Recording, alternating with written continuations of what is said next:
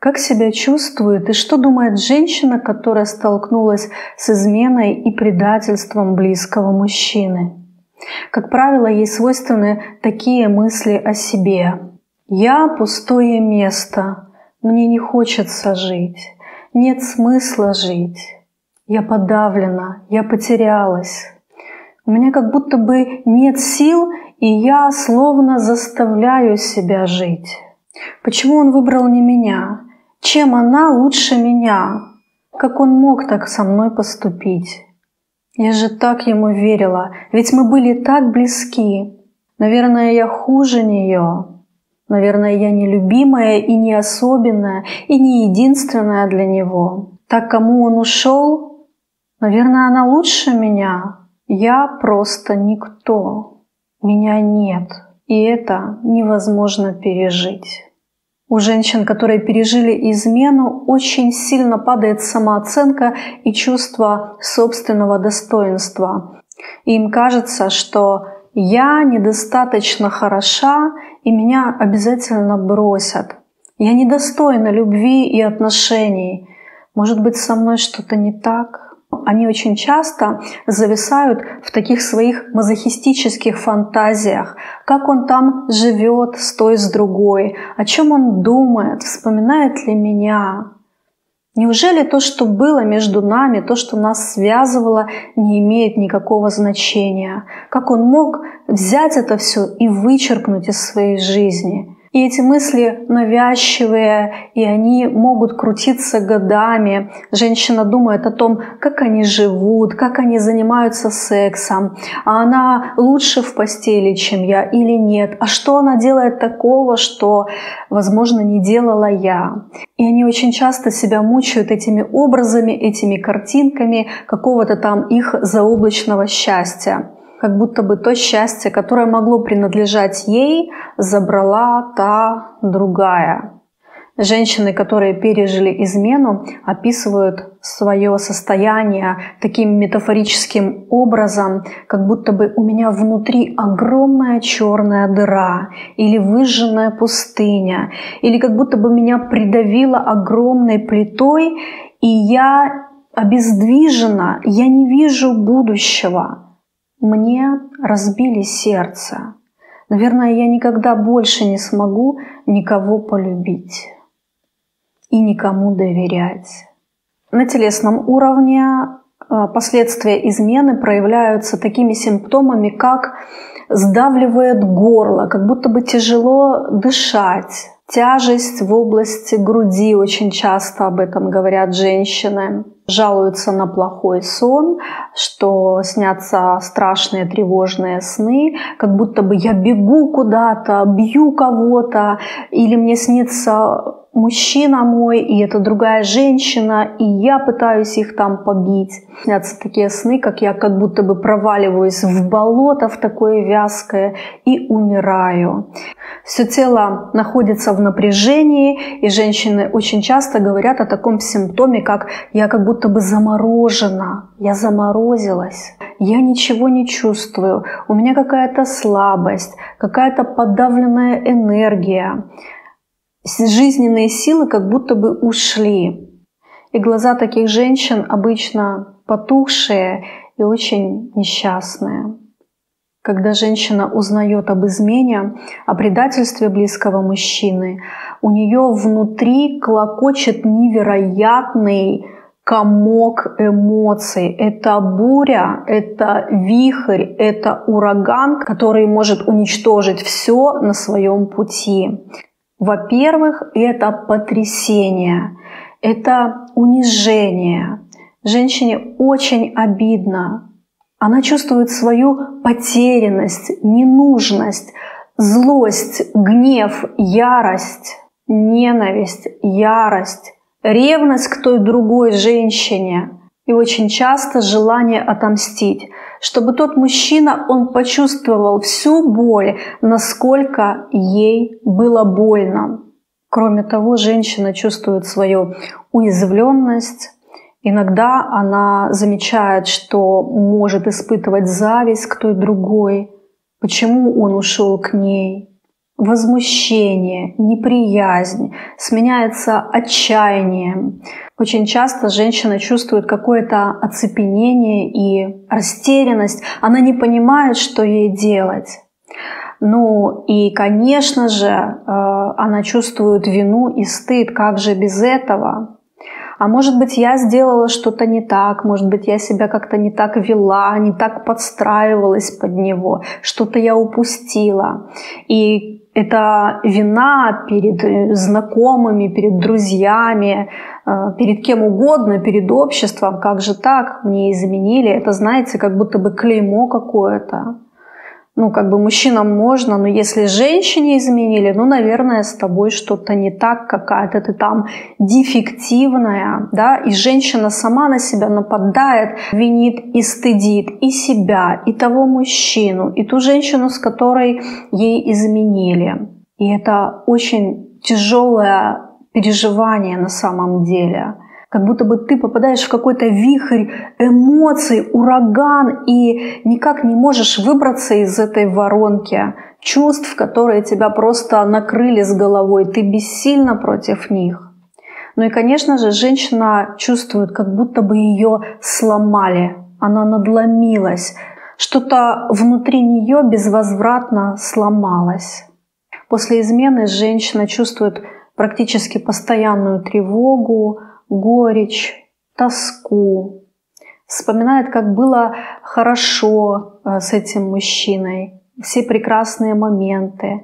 И, конечно же, она грустит и печалится. И она чувствует большую жалость к себе. И это вызывает обилие слез. Женщина может даже замкнуться, стать какой-то отрешенной, она может испытывать отчаяние и большую душевную боль. Она чувствует разочарование, безысходность и беспомощность. Ну и, конечно же, собственное бессилие что-либо изменить. Она чувствует себя полностью раздавленной и подавленной. Но иногда к ней приходит надежда, а может быть все еще изменится, а может быть он поймет, что я лучше, может быть он вернется. Но, как правило, он не возвращается, и женщина чувствует, что она сама себя потеряла, и никому в этом мире она не нужна. На поведенческом уровне это проявляется так, как будто бы женщина замирает, она не хочет ничего делать, ей не хочется никуда идти. Хочется просто свернуться калачиком, забыться, заснуть и больше не просыпаться. А некоторым хочется просто убежать от этого подальше. Некоторые начинают заедать, а некоторые совершенно перестают есть. Соответственно, либо набирают вес, либо сильно худеют. А некоторые начинают пить или принимать какие-либо психотропные вещества, чтобы выпрыгнуть из этой болезненной реальности. Либо погружаются в сериалы, где все прекрасно, где есть э, любовь настоящая, безусловная, да, Женщины говорят о том, что им постоянно хочется плакать, но им приходится себя сдерживать, потому что они боятся, что утонут в этом океане слез и не выплывут из него. Как это проявляется в моторике? В движениях тела как будто бы нет энергии. У такой женщины в прямом смысле опускаются руки, грустные опущенные плечи, естественно, грустные глаза, полные боли, страдания, отчаяния, печальное лицо, мимика, выражающая подавленный гнев. Женщины часто говорят, что я как будто бы не живу, я функционирую. Вот примерно так чувствует себя женщина, которая столкнулась с изменой и предательством близкого мужчины. Некоторые женщины проживают измену и предательство достаточно легко и быстро, и уже через какое-то время э, находят для себя новые отношения.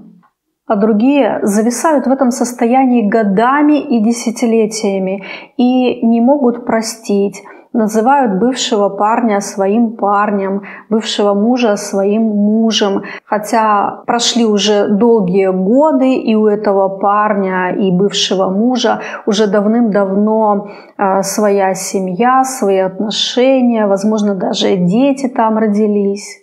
Так в чем же разница между этими женщинами? Разница в том, что первые прожили эту свою драму и отреагировали а вторые не отреагировали и как будто бы похоронили в себе все свои переживания, весь свой праведный гнев и агрессию и все те эмоции и чувства, о которых я рассказывала выше.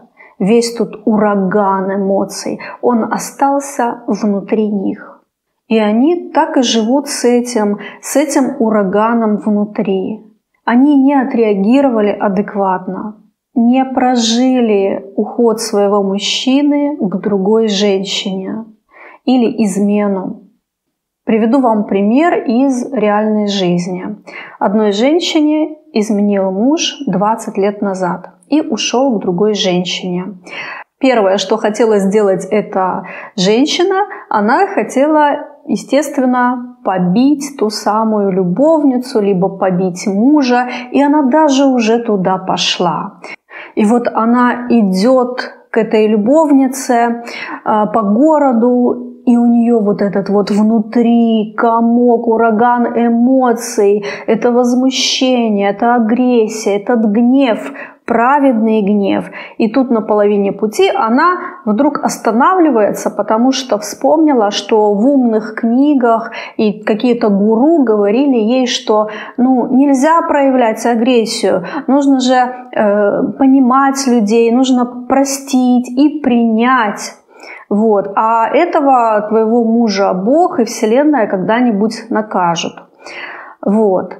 И тут эта женщина понимает, но я буду выше этого, да, это он такой подонок, а я буду такая вот вся духовная, ведь проявлять свою злость, праведный гнев и агрессию – это не духовно.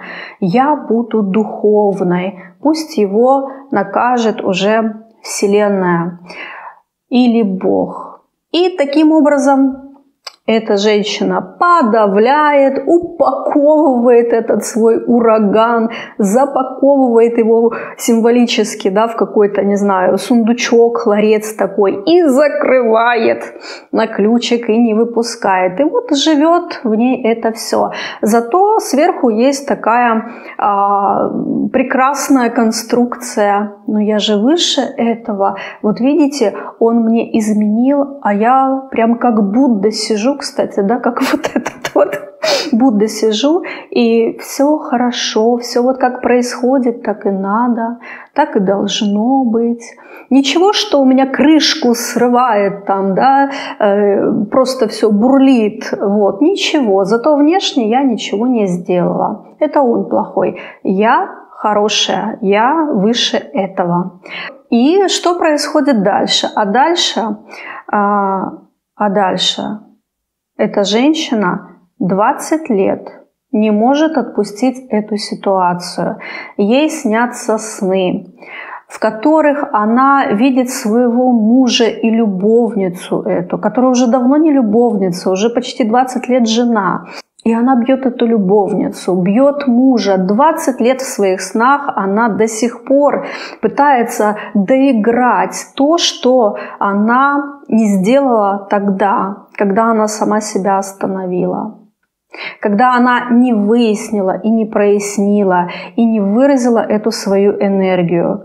Э, что делает психика? Незавершенные ситуации она пытается дозавершить во сне таким образом как бы переработав то, что ну, переварить очень сложно.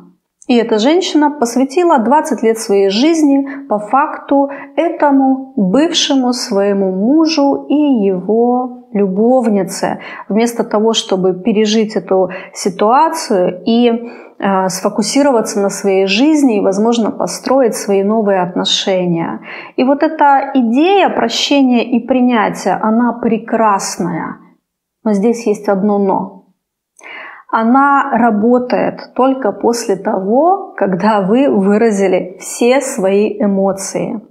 Невозможно простить и принять человека, который вам причинил огромное зло, огромную душевную боль, пока вы не выразили все свои эмоции, пока вы не открыли этот сундучок, пока из него э, не вылетел этот ураган, и вы не выпустили его наружу. И только тогда когда вы позволили этим эмоциям реализоваться, прожили эту ситуацию телесно, сделали определенные движения телом, только после этого у вас появляется возможность прощения и принятия. Кстати, для этого делать даже ничего не приходится, потому что это происходит автоматически.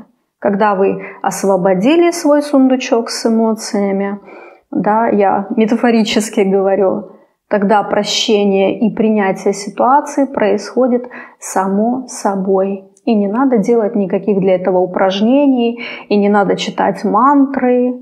Таков механизм. Вы должны избавиться от эмоций. Только после этого придет прощение и принятие ситуации.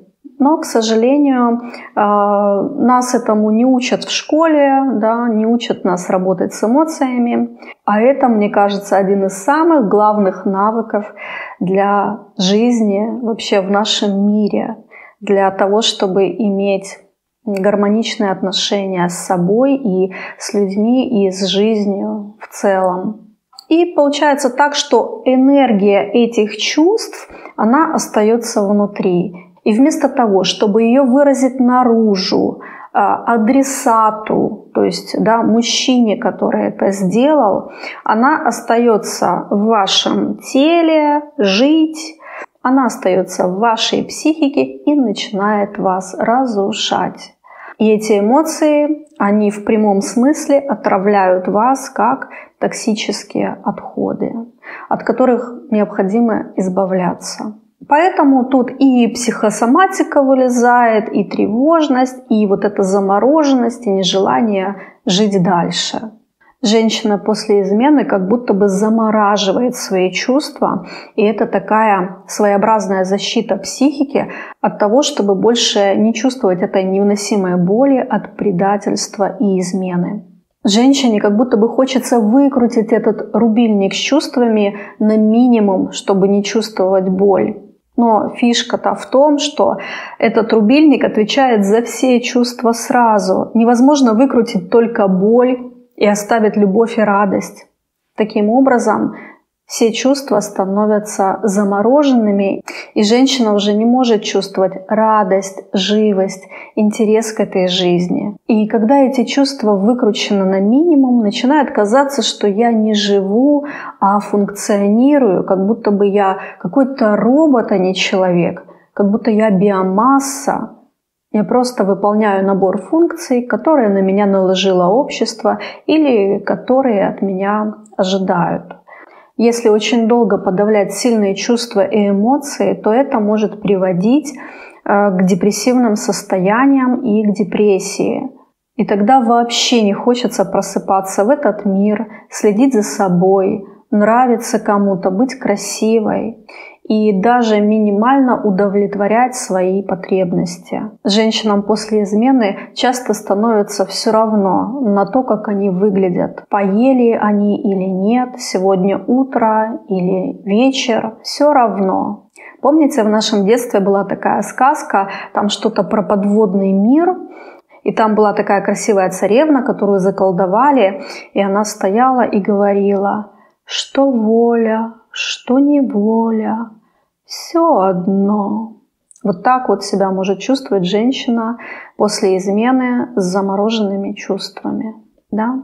И когда э, женщина уже в таком состоянии, когда ей что воля, что неволя, все одно, неважно, как выгляжу, неважно, что чувствую, неважно, что будет завтра, то э, нужно обращаться к психиатру и к медикаментозной коррекции депрессии, а уже после этого работать э, с психологом и психотерапевтом. Кстати, чтобы понять, есть ли у вас депрессия и какой там уровень депрессии, вы можете пройти э, в интернете в свободном доступе есть тест Бека.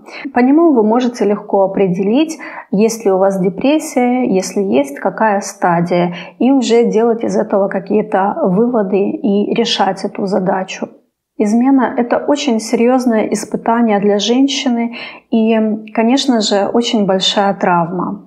По шкале стресса Холмса и Райха измена, развод, разрыв отношений стоит в первой тройке стрессовых ситуаций сразу после смерти э, близкого человека. Э, смерть близкого человека – это 100 баллов, а разрыв отношений – это 75-65 баллов.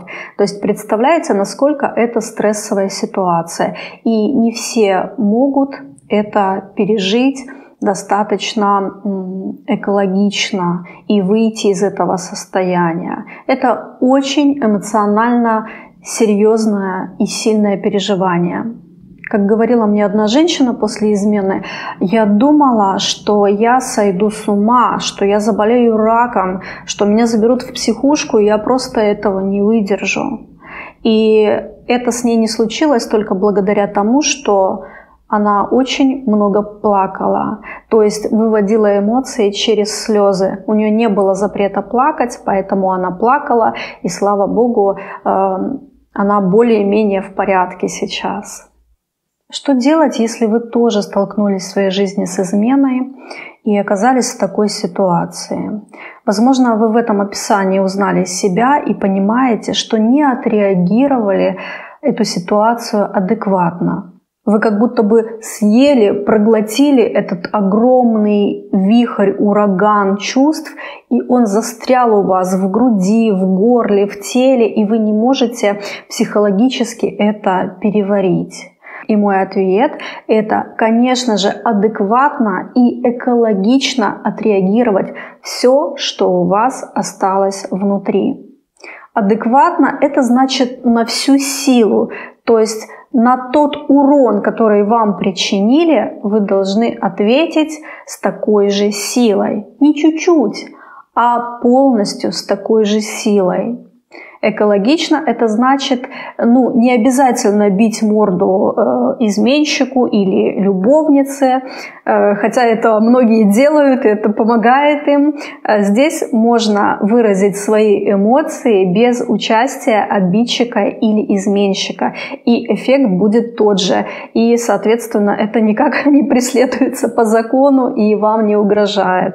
И смотрите, это можно делать либо самостоятельно, либо в работе с психологом. Как самостоятельно, адекватно и экологично отреагировать измену. Первая простая такая рекомендация. Вы можете смотреть грустные фильмы с похожим сюжетом, а, с такой же ситуацией, которая у вас была. Как женщина кого-то очень сильно любила, а он ее предал, и плакать, проживать вместе с ней свои эмоции. Вы можете слушать грустные песни до тех пор, пока у вас не закончатся слезы, и вам это не надоест, и не захочется чего-нибудь более радостного и оптимистичного.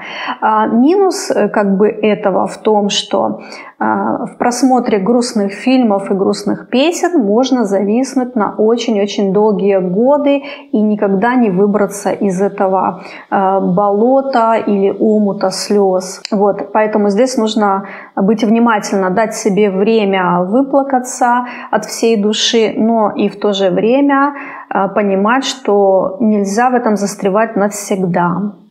Еще один вариант самостоятельной работы. Вы можете написать письмо обидчику и высказать все, что вы думаете о нем, о ваших отношениях, и не стесняясь в выражениях. Потом это письмо можно так раскромсать, там, сжечь, э, выбросить. Сделайте с ним все, что хотите. Ну, кто смелый, может и отправить. Хотя тут тоже такой вопрос. Потом будете переживать, ответит ли он вам или не ответит, и думать, получил он его или не получил. Поэтому эта работа, скорее всего, просто для себя. Есть такое упражнение, оно называется «безмолвный крик». Когда вам очень плохо, и вы вспоминаете измену, и вас накрывают эмоции, вы двумя руками закрываете себе рот, так плотно, да, и начинаете безмолвно кричать. У вас напрягается все тело, вы кричите, плюс того, что вы не переживаете, что вас слышат соседи, что будет очень громко. Это очень крутое упражнение для того, чтобы выводить свои эмоции. Вот. Но еще лучше, если вы подключите к этому свое тело и выведете эмоции путем движений тела. Как это делать, я сейчас расскажу. Я, кстати, это тоже упражнение делала и э, выражала свои эмоции и всегда рекомендую это делать своим клиентам. Вы выбираете место, где никого нет, где вам никто не помешает. Это может быть лес, там берег реки, ну, любое такое уединенное место. Вы выбираете на этом месте какой-то объект. Допустим, это будет пень. А, это объект, на котором вы будете выражать свою злость, гнев, свои эмоции. Вы берете палку в руки, такую увесистую, вот. Назначаете этот пень и говорите, что так, теперь ты будешь Васей, условно говоря. Я тебя назначаю изменщиком Васей. Берете в руки палку и начинаете высказывать все, что у вас внутри этому пню, этому Васе нашему и начинайте прислушиваться к своему телу, что ему хочется сделать, что телу хочется сделать. Как правило, как правило, очень хочется взять палку и начать бить этот пень со всей силы. В этот момент вам нужно отпустить себя полностью. Кричите, рычите, орите, ругайтесь матом, бейте пень со всей силы. Плачьте, это прекрасно, если будут идти слезы. Проговаривайте все, что вы хотели сказать тогда, но сдержали в себе. Например, Вася, я давно хотела тебе сказать, мне так обидно, если бы ты знал. Пам, да, бьем Васю. Ты ушел и ничего мне не сказал, не объяснил. Ты знаешь, что я чувствовала, когда ты мне изменил, когда я узнала о твоем предательстве? Ты меня предал, мне больно. Я хочу, чтобы ты мучился. Я хочу, чтобы у тебя ничего не вышло. Чтобы ты почувствовал, как мне было больно. И бьется. Делайте это до тех пор, пока сказать вам будет больше нечего. Пока у вас не закончится сила, вы почувствуете, ну что все, я все сказала, я выразила это телесно. Вы, если вы хорошо сделали это упражнение, вы почувствуете усталость, опустошенность, а, какую-то пустоту, возможно, и вместе с тем облегчение. И какое-то даже это будет удовлетворение. Вы можете сказать этому пню, все, ты больше не Вася, я снимаю с тебя эту роль, и через какое-то время вы начнете замечать, как ваши силы начали к вам возвращаться. А это возвращается ваша жизненная энергия, ваша правота, ваша самоценность ваше достоинство. Вы себя защитили, вы себя отстояли, вы дали адекватный ответ – своему обидчику. А как вариант можно бить э, грушу в спортзале или, знаете, там есть такой манекен мужчины, я видела, можно одеть перчатки боксерские и бить его и проговаривать все, что вы о нем думаете, об этом Васе. Вот. Главное, позаботьтесь о себе, чтобы вас никто не слышал, и чтобы вы свободно могли выражать эти эмоции. Позвольте себе ничего не сдерживать, ничего не подавлять, ни слов, ни своих действий. Иногда это не получается с первого раза, и тогда нужно будет повторить это упражнение. Ну, возможно, несколько раз. Адекватно отреагировать измену нужно на нескольких уровнях. На эмоциональном это прожить эти болезненные эмоции, прям прочувствовать их. Где они у вас в теле находятся, сердце, горло, что, где они, да? И на телесном уровне, то есть движениями сделать то, что хотелось сделать, а вы это сдержали. Ну, например, у меня в таких ситуациях мне хочется врезать в морду, да, то есть вот движение руки вот так вот сделать, или взять палку и вот так, и вот так делать. То есть, ну, у меня реакция достаточно такая э, естественная, да, взять и побить, то есть ответить очень сильно, физически ответить. Но мы же в своей жизни это сдерживаем, мы же этого не делаем, но можем сделать Э, значит, с пнем там или с манекеном.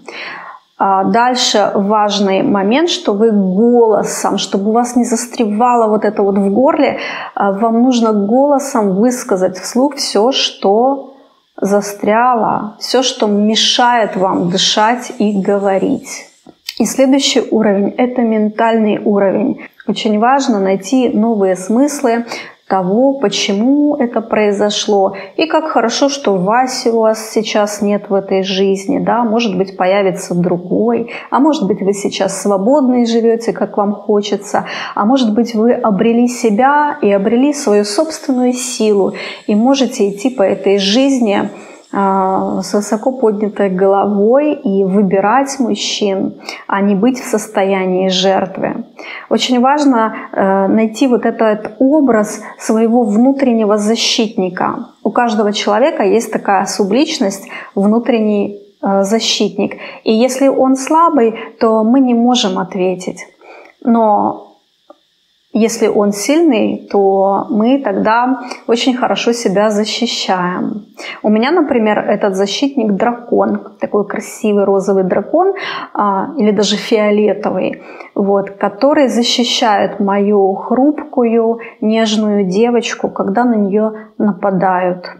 Мне очень нравится этот образ. После измены очень важно вернуть себе свою силу, свою самоценность, свое женское и человеческое достоинство. Ну и, конечно же, уверенность в себе. И это возможно только тогда, когда вы отреагируете на это. Что может помешать сделать это самостоятельно? Ну, например, страх, что если я отреагирую так, как я хочу, если я буду ругаться матом, если я начну драться, э, то я буду плохая для родителей, для Бога, для своего гуру, для Вселенной. Или это принесет изменщику вред.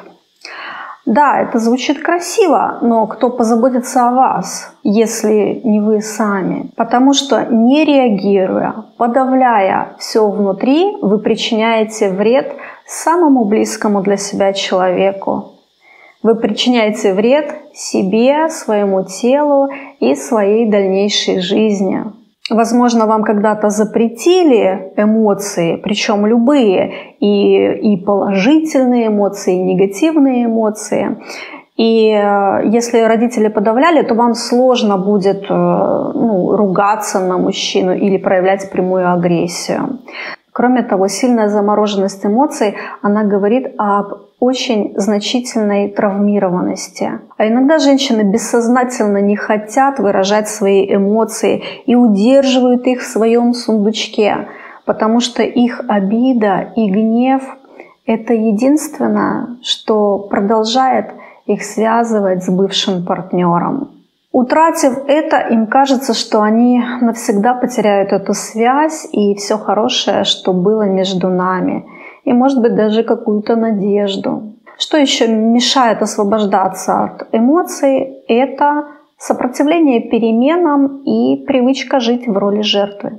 Ну и бывают такие отговорки, что вот нет времени этим заниматься самостоятельно, поэтому ну когда-нибудь потом.